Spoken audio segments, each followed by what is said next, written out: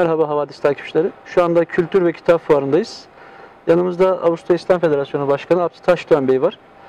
Ee, Kendisiyle Avusturya gündemi ve kitap fuarı ile alakalı bir röportaj gerçekleştireceğiz. Başkanım öncelikle hoş geldiniz. Hoş Yoğun gündeminizden bize vakit ayırdınız. Ee, Birkaç sorumuz olacak size. Buyurun. Gençlik Başkanlığı döneminizde sizin projeniz olarak başlayan kitap fuarı bugün binlerce kişi ev sahipliği yapıyor. Konuda neler düşünüyorsunuz? Bir de düşünceleri, duygularınız nelerdir? Evet, öncelikle teşekkür ederim. Fuarımıza hoş geldiniz.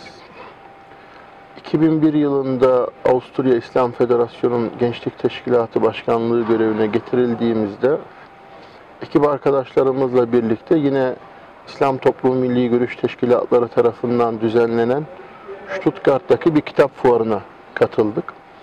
Ve bu kitap fuarına katıldığımızda bu çalışmayı Avusturya'ya da taşımamız gerektiği düşüncesi bizlerde hasıl oldu. Ve akabinde 2001 yılının Şubat ayında projelendirdik çalışmayı ve 2001 yılının Nisan ayında Doğanbiyön şehrinde yine Doğanbiyön Fuar Merkezi'nde o zamanki ekip arkadaşlarımızla birlikte birinci Avusturya Kültür ve Kitap Fuarı'nı başlatmış olduk. Elhamdülillah bugün e, bu yıl 14.sünü gerçekleştirmiş olduk. Fuarımız o günden bu yana büyüyerek devam etti. Zannediyorum 600 metrekareyle başlamıştı. Şimdi 20 bin metrekarenin üzerinde bir alanda düzenleniyor. İlk düzenlediğinizde bu kadar büyüyeceğini tahmin ediyor muydunuz? Hedefleriniz arasında var mıydı bu?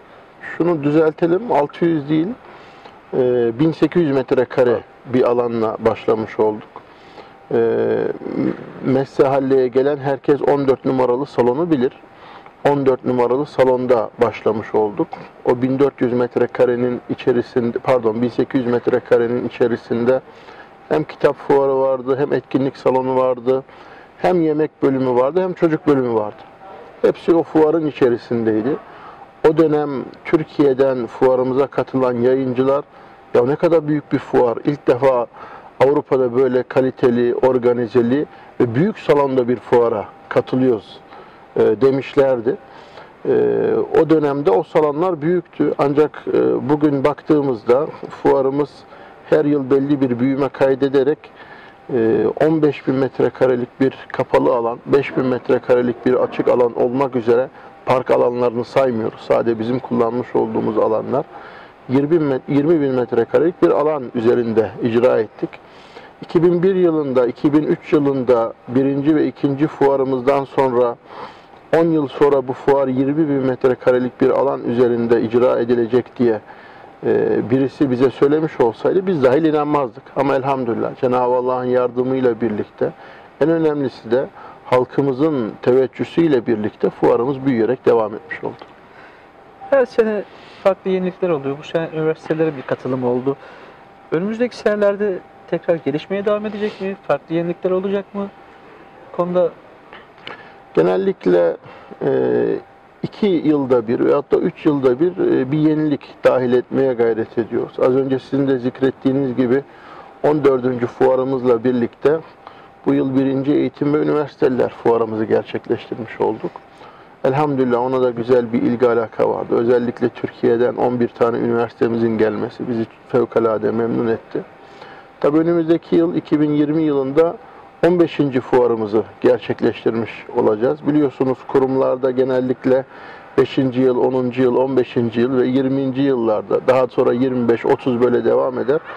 Ee, yenilikler olur. Biz de inşallah kardeşlerimizle istişare edip ki şu an anket çalışmamızı başlattık. Anketlerden gelecek olan neticeyi de göz önünde bulundurarak 15. fuarımızda bir iki yenilikle birlikte halkımızın, misafirlerimizin huzuruna çıkmış olacağız.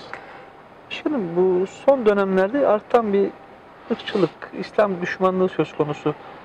Yalnız kitap fuarında gördüğümüz gerek bakan düzeyinde gerek vatandaşlar düzeyinde bir katılım oluyor Avusturya toplumundan. Olumlu ya da olumsuz gelen tepkiler nasıl kendilerinden kitap fuarı ile alakalı? Ee, orada da kısa müsaadenle Sinan Bey kardeşim bir düzeltme yapalım. Şimdi sadece kitap fuarı dersek e, bazı şahıslar özellikle kitap fuarı yapıyorlar. Farklı farklı işler dönüyor içeride diye e, tepki gösteriyorlar. Fuarımızın ismi kültür ve kitap fuarı olarak başlamış oldu. Ve daha sonra Türk girişimciler diye devam etti. Bu yılda ilave olarak eğitim ve üniversiteler fuarı dahil olmuş oldu. Kitabın yanı sıra e, özellikle kültürümüzle alakalı da ciddi çalışmalar var. Onları da ifade etmiş olalım.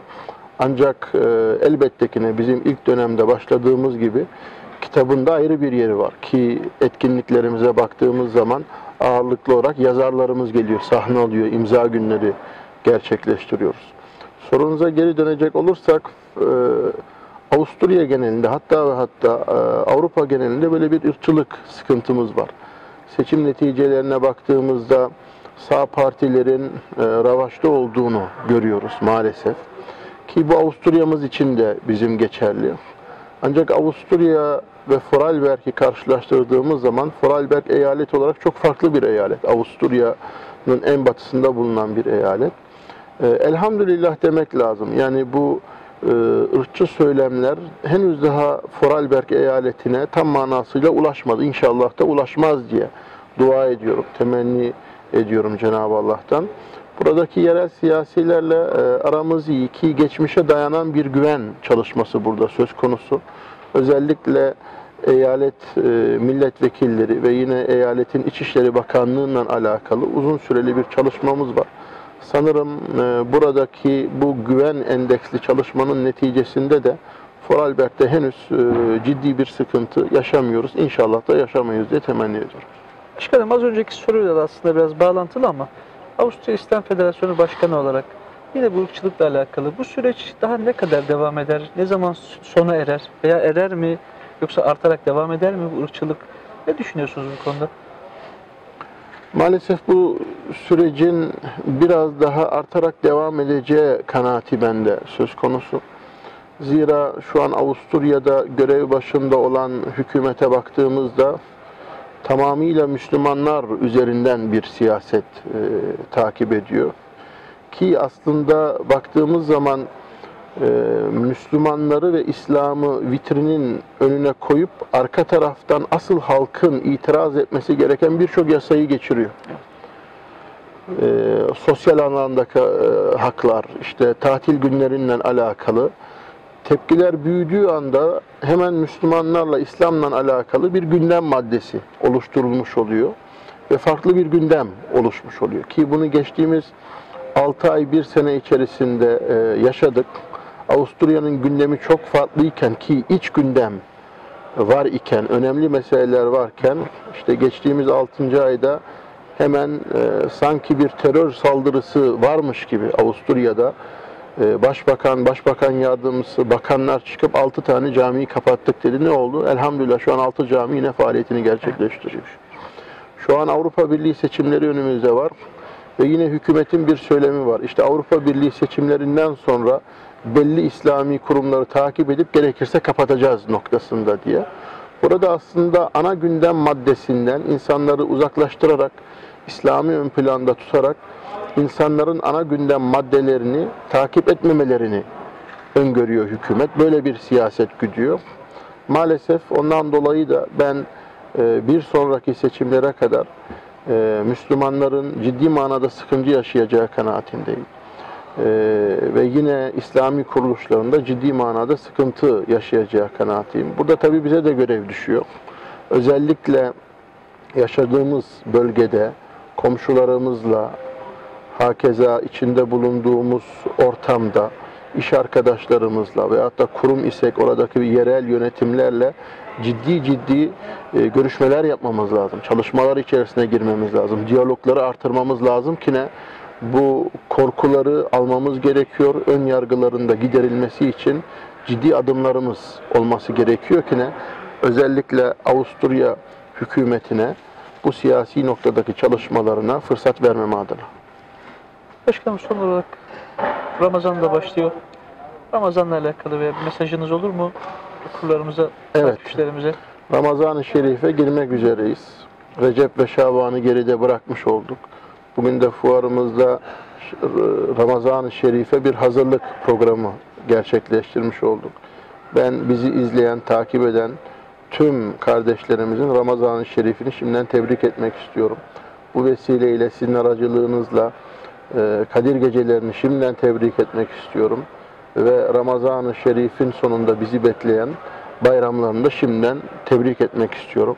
İnşallah Ramazan-ı Şerif'i güzel bir şekilde gerçekleştirmeye, Ramazan-ı Şerif'i güzel bir şekilde geçirmeye, ibadet dolu geçirmeye, e, kavgasız, gürültüsüz, dedikodusuz, ibadet dolu geçirmeyi Cenab-ı Allah bizlere nasip eylesin diyorum. Hepinize Allah'a emanet ediyorum. Tekrar Başkanım, sizlere de teşekkür, ediyorum. Ben de Yoğun teşekkür ediyorum. günlerinizden bize vakit ayırdınız. Teşekkür ediyorum. Allah razı olsun. Siz de sağ olun. İyi akşamlar diliyoruz.